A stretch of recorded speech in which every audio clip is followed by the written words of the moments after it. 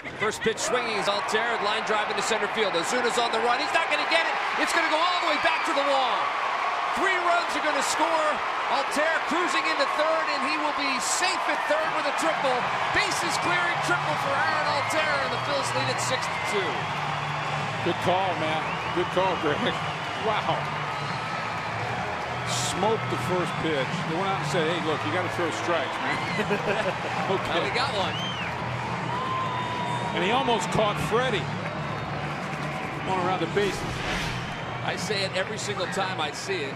Aaron Altherr can run the bases as good as anybody.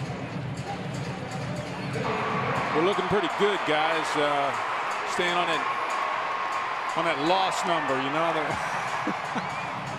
The, the number we do not want yeah, to say. The one we don't want to talk about.